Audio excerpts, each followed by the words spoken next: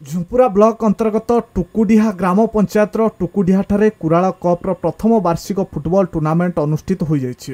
ଏହି ଅବସରରେ କେନ୍ଦୁଝର ଜିଲ୍ଲାର ବିଭିନ୍ନ ବ୍ଲକର କୁମ୍ଭାରମାନଙ୍କ ଷୋଳଟି ଫୁଟବଲ ଟିମ୍କୁ ନେଇ ଏକ ଦିବସୀୟ ଫୁଟବଲ ଖେଳ ପ୍ରତିଯୋଗିତାରେ ସଦର ବ୍ଲକ ଅନ୍ତର୍ଗତ ପର୍ଜନପୁର ଗ୍ରାମ ପଞ୍ଚାୟତର ସତୀକୁଦର ଗ୍ରାମର ଫୁଟବଲ ଟିମ୍ କୁରାଳ କପ୍ର ଚାମ୍ପିୟନ ହୋଇଥିବା ବେଳେ ଯୋଡ଼ା ବ୍ଲକ ଅନ୍ତର୍ଗତ ଆସାଇଁ କଳା ଗ୍ରାମର ଫୁଟବଲ ଟିମ୍ କୁରାଳ କପ୍ର ଦ୍ୱିତୀୟ ପୁରସ୍କାର ପାଇ ସର୍ବଦା ଜାତି ସମାଜର ଉନ୍ନତି ସାଧିତ କରିଥିବା ଦେଖିବାକୁ ମିଳିଛି ଏହି ପରିପ୍ରେକ୍ଷୀରେ କୁରାଳ ସମାଜର ବହୁ ମାନ୍ୟଗଣ୍ୟ ବ୍ୟକ୍ତି ତଥା ଗ୍ରାମବାସୀ ଉପସ୍ଥିତ ଥିଲେ। କେନ୍ଦୁଝର ଜିଲ୍ଲା କୁରାଳ ସମାଜର ପୂର୍ବତନ ସଭାପତି ରବୀନ୍ଦ୍ର ଚନ୍ଦ୍ର ରଣା ପୂର୍ବତନ ସମ୍ପାଦକ ଗିରିଶ ଚନ୍ଦ୍ର ବେହେରା ବର୍ତ୍ତମାନ ସଭାପତି ଗୋପାଳ ପ୍ରଜାପତି ବର୍ତ୍ତମାନର କୋଷାଧ୍ୟକ୍ଷ ବଟକୃଷ୍ଣ ବେହେରା ବର୍ତ୍ତମାନର ସହସମ୍ପାଦକ ଭୈରବ ଚନ୍ଦ୍ର ବେହେରା ପ୍ରମୁଖ ସମ୍ମାନିତ ଅତିଥି ଭାବେ ଯୋଗ ଦେଇଥିଲେ।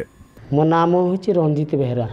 ଯେଉଁ ଯୁବଗୋଷ୍ଠୀ ଆମର ବର୍ତ୍ତମାନ ମୁଣ୍ଡ ଟେକିଛି କେନ୍ଦୁ ସାରା କେନ୍ଦୁଝର ଜିଲ୍ଲାରେ ସେଇ କେନ୍ଦୁଝର ଜିଲ୍ଲାର ପ୍ରତ୍ୟେକ ଯୁବ ପ୍ରତିଭାମାନଙ୍କୁ ଆମେ ଏଠି ଦେଖିବା ପାଇଁ ଚାହୁଁଛୁ। ଯାହା ହଉ ଫୁଟବଲ ଖେଳର ଆୟୋଜନ କରାଯାଇଛି। ଏହି ଫୁଟବଲ ଖେଳରେ ସମସ୍ତ ଖେଳାଳି ଷୋହଳଟି ଦଳ ଅଂଶଗ୍ରହଣ କରିଛନ୍ତି ଏବଂ ଏହି ଏକ ଦିବସୀୟ ମ୍ୟାଚ୍ର ଯେଉଁ ପୂର୍ଣ୍ଣାଙ୍ଗ ଖେଳ ହେଲା ସେଥିରେ ଆମେ ବହୁତ ଖୁସି ହେଲୁ। ସମସ୍ତ ଯୁବଗୋଷ୍ଠୀମାନଙ୍କୁ ନେଇକି ଯେଉଁ ଖେଳ ପ୍ରତିଭା ଲୁଚି ରହିଥିଲା ତାହା ଆମେ ଆଜି ନିଜ ଆଖି ଆଗରେ ଆମେ ପାଇଲୁ ଦେଖିଲୁ। ଯାହା ହଉ ସରକାରଙ୍କ ପାଖରେ ଏତିକି ନିବେଦନ କରୁଛୁ ଆମ ଯୁବଗୋଷ୍ଠୀ ପାଇଁ କିଛି କୁରାଳ ସମାଜ ତରଫରୁ ଯେଉଁ ସରକାରଙ୍କର ରହିଛି ଶିଳ୍ପ ତାଲିମ କେନ୍ଦ୍ର କିମ୍ବା ଆମର ଟେରାକୁଟା ସଂସ୍ଥା ସେଇ ଟେରାକୁଟା ସଂସ୍ଥାରେ କିଛି ଯୁବଗୋଷ୍ଠୀକୁ ସାମିଲ କଲେ ଆମେ ପ୍ରାୟ ଖୁସି ହୁଅନ୍ତୁ। ହରିଚନ୍ଦନପୁରରୁ କୃଷ୍ଣଚନ୍ଦ୍ର ବେହେରାଙ୍କ report Mahak TV news.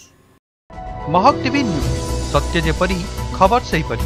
Latest ଖବର ପାଇଁ ଲାଇକ୍ ସେୟାର ସବସ୍କ୍ରାଇବ୍ ଏବଂ ଫଲୋ କରନ୍ତୁ ମହକ୍ ଟିଭି ନ୍ୟୁଜ୍ର ଫେସବୁକ୍ ୟୁଟ୍ୟୁବ୍ ଏବଂ ଟ୍ୱିଟର ପେଜ୍କୁ ଅଧିକ ତଥ୍ୟ ପାଇଁ ଲଗ୍ଇନ୍ କରନ୍ତୁ ଆମ website W W W dot Mahak TV dot ଇନ୍ରେ ଏବଂ ଡାଉନଲୋଡ୍ କରନ୍ତୁ ମହକ୍ ଟିଭି ଆପ୍କୁ ଗୁଗଲ୍ ପ୍ଲେ ଷ୍ଟୋର୍ରୁ